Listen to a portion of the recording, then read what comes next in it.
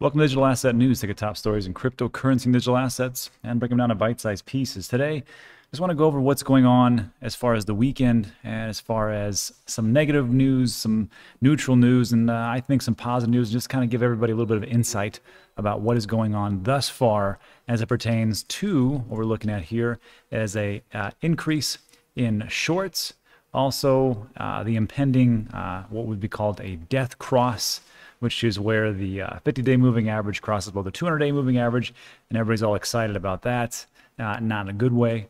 And then we'll just take a look at how these indicators are not always uh, accurate. And finally, we're going to finish up with a little uh, Ted Cruz, senator from the United States, uh, on Fox News talking about crypto and uh, what this all means and where I think things are going. So we'll go over all those things. Uh, but first, let's take a look at what's going on in the market. And, be, and before uh, anybody gives me a thumbs down just because I'm talking about Ted Cruz, if you're gonna give me a thumbs down uh, for this video, give it because the video is just awful and you learned absolutely nothing. Don't give it because you don't like Ted Cruz. That has nothing to do with it. Uh, let's just talk about crypto. We're not here to talk about politics. We're just here to talk about the things that are going on in the cryptocurrency world. So, uh, like I said, it's June 12th. It's about 6 p.m. Uh, El Paso, Texas time, and we're looking at uh, a little bit of a slump. What can I say? Uh, Bitcoin is down 4%, uh, as uh, predicted by the experts. And we're looking at 35.6. Ethereum, 2300, down, actually up 0.9%. It's pretty good. BNB up a little bit. Cardano up 3.4%. so we'll take it. And then just a little bit of, well, actually not too bad. 1.7.6 for Matic, 3% for uh, ICP, 4%. So, you know, in all honesty, uh, we're looking pretty good, except for wrap Bitcoin, but that makes a lot of sense. So that's what's happening on in the market. Uh, the market cap is 1.57 trillion, down from I think its all-time high around 2.4 trillion.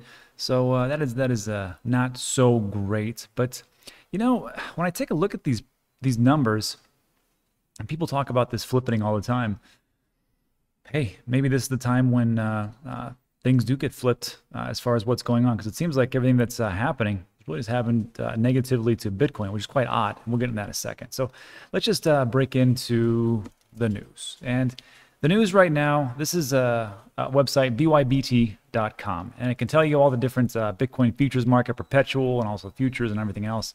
And this is what we got. There was an increase in shorts that came up, which means people believe that Bitcoin is going to uh, go down over the next uh, days, weeks, months, whatever they are, uh, for whatever that time frame is.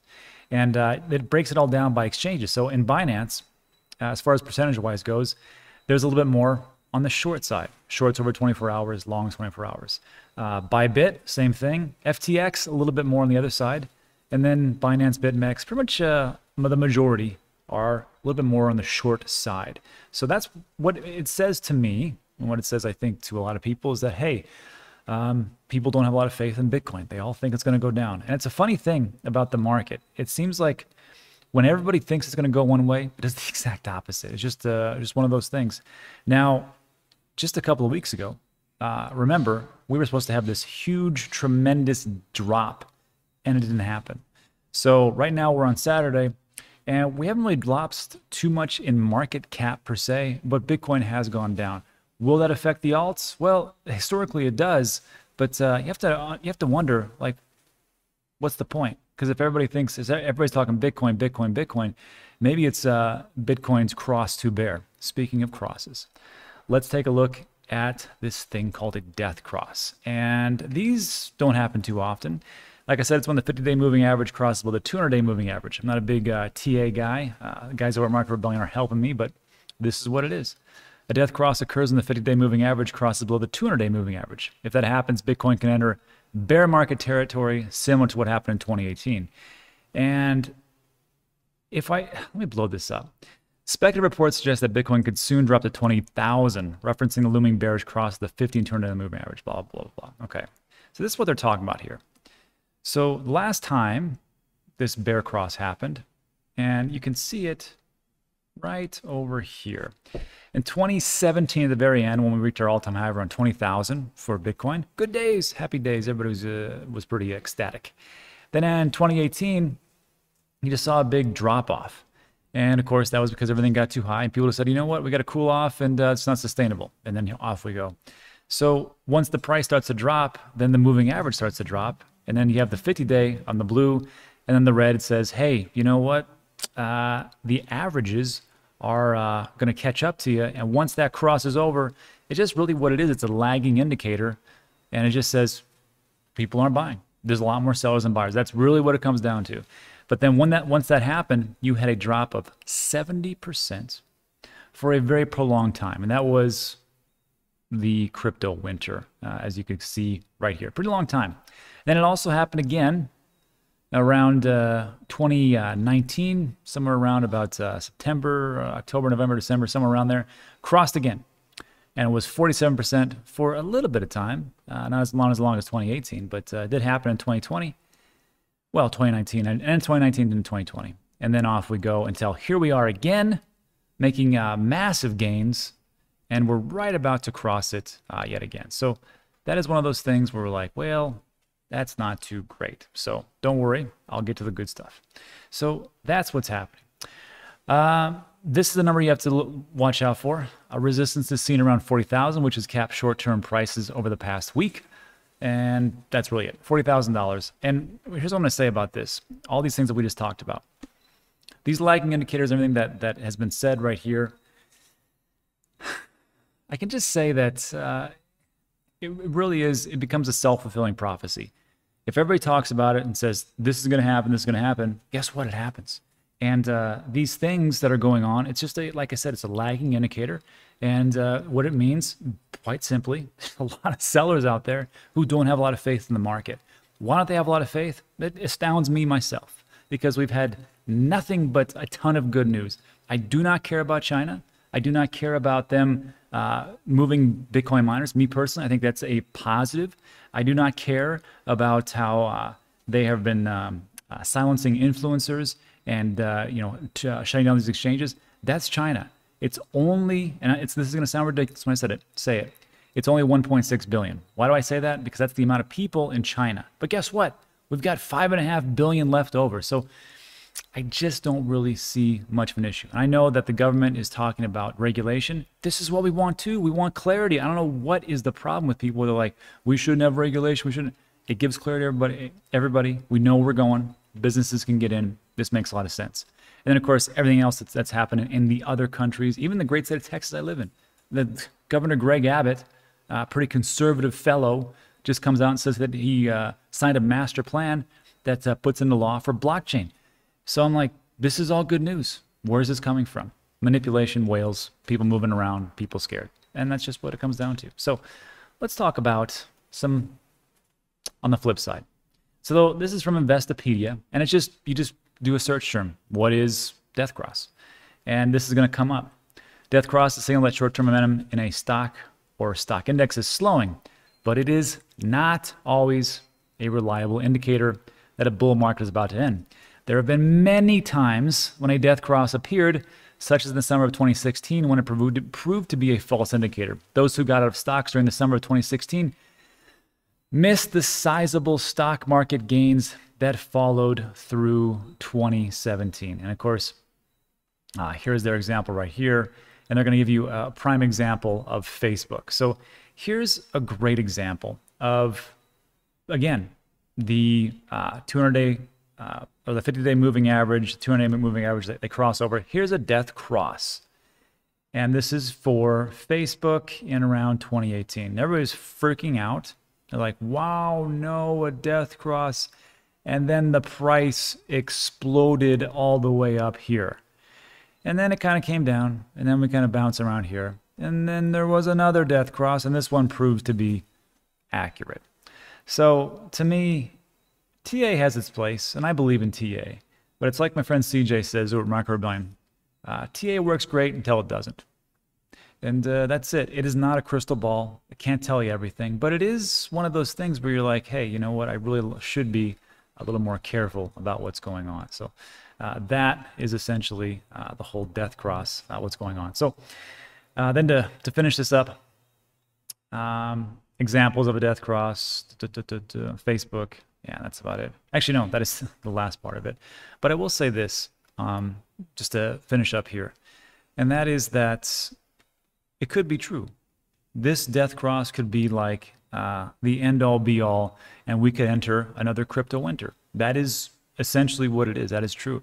So uh, the thing is, is that you could get out. On this show, I cannot tell you what to do. I'm not a financial advisor. This is financial opinion, not financial advice. I can only tell you exactly what I am going to do and and what other people are going to do. So for me, I'm not going to sell anything because I just don't like to play the games of getting out and then uh, you know watching it maybe go down, maybe trade sideways for a long time, or heck, even maybe go up. I have no idea. But I always think back to the original people who invested.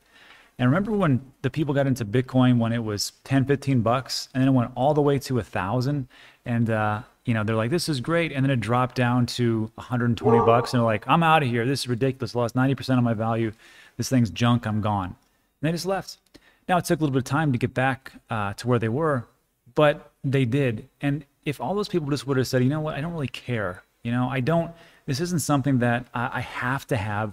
I didn't sell my house and uh, my all my cars and my kidneys and my children to to buy Bitcoin. So if it goes down a little bit, I'm not going to lose anything unless I sell into fiat. So I'm just going to let it ride. So for me, I will probably not sell. And uh, it has nothing to do with diamond hands and that religious type of thing that people always say, you got to have diamond hands, you got to have diamond hands. Look, I don't really it's what's best for you. Your goals are not my goals, okay? So if you feel like I got to sell, I'm, I'm in profits, it's best for my family, then go ahead and sell. I will never call anybody paper hands again. I, I think that's a very dumb uh, way to, to, to, to say it because it just gets in people's heads like they got to hold on forever. You don't have to hold on forever. So what if Bitcoin goes to a million and you sell and someone goes, you got paper hands who's going to 2 million in 10 years. You're like, who cares? I got a million bucks. So, uh, I mean, and then there's the argument about, you know, everything's going to crypto. Sure. All right. Anyhow, that's what I got. And the other thing that I will say is that, um, you know, some people will look at this and they'll say, well, maybe I'll just get out right now. And if it if it goes all the way down, I'm protected. Sure, you can do that. Or if it's uh, actually just trades sideways and I'm out, it doesn't really matter because it's trading sideways. Or if it even goes up and starts to rally, then I'll just get back in and pay a 5% penalty. That's another option. But again, for me, it's not my it's not my thing. Uh, I have an exit strategy uh, for most of my altcoins, some of my Bitcoin. I'll be updating that very soon, but this is just how I see things, and uh, and that is it. So let me know what you think in the comments section. Let's move on to our our last piece. So our last piece here uh, is just about uh, good old Ted Cruz. And uh, if you're not from America, you probably don't know, don't know, this guy. He's a U.S. senator. He's a Republican, and it's a funny thing because the ex-president of the United States, Trump, came out again. Do not give me a thumbs down because you don't like Trump. This has nothing to do with Trump. It's not a political channel. I'm just referencing it because of crypto. So, with Trump, he came out and said that he believes that Bitcoin is a scam and he doesn't trust it. But he did say he thinks it is a uh, competition uh, for the US dollar as it is a currency. I'm like, hey, great, you call it a currency. Thanks, man. And uh, that's it. So on there's that side, and he's a Republican. And then Cruz comes out here and he's talking to uh, Sean Hannity and the Sean Hannity, whatever show he's on. He's on Fox or something. And uh, he, first they started to talk about you know Elizabeth Warren, who's already who's a Democrat and already has talked negatively about cryptocurrency. Again, thumbs down. I don't care about Elizabeth Warren and her politics. I don't care any politics. I think it's all ridiculous. Uh, she came out and just bashed cryptocurrencies and, and said some pretty false things. She has no idea. She has no idea. She has some idea. She's not. She's not that dumb, but uh, she just said a lot of a, a lot of fallacies. But uh, it's amazing how she will come out and say that, and then the other political side will say, you know what? I don't think she knows what she's talking about, and I think cryptocurrency is fantastic. Great. I don't care what your politics are. If you're talking positively about cryptocurrency, I want to talk to you. So this is what happened. After they started to bash everything on Hannity show, uh, the conversation turned to crypto, and Sean Hannity says, "Okay, you've been hearing about it. Bitcoin cryptocurrency. What is it? Why is it so big? What's Bitcoin? What's blockchain? What's Dogecoin? First of all, uh, any people who have no idea what uh, crypto is, just go here. DanTeachesCrypto.com. 100% free. I made it 100% free. It will all be 100, always be 100% free. And that's because I don't want anybody to pay for anything. I want them just to learn, understand, and then go out into the crypto world and understand what you're actually investing into. So that's why I made it free. I don't want anybody to pay for anything. Uh, so send those people that, that way. And uh, so Sean Hannity or uh, Ted Cruz says, I think part of the reason we're seeing people go to Bitcoin is because we're on the verge of an inflation crisis. True. Inflation crisis. True. And Joe Biden has proposed $7 trillion in new spending. I don't know the exact number, but it is trillions. So true. We're seeing inflation, which we're seeing lumber go up, uh, homes going up, oil going up, gasoline going up, energy going up, commodities going up. And I think people are going to Bitcoin as a hedge against that. And I think there is that part, you know, uh, as far as inflation, but there's also uh, a supply chain breakdown as well. So that will also contribute to these rising prices. That's not the whole point. The point is he's correct because we are going to see some inflation. There is no way you can print that much money. You can print 30% of the entire amount of fiat cash or US dollar in the last year or year and a half and not have inflation.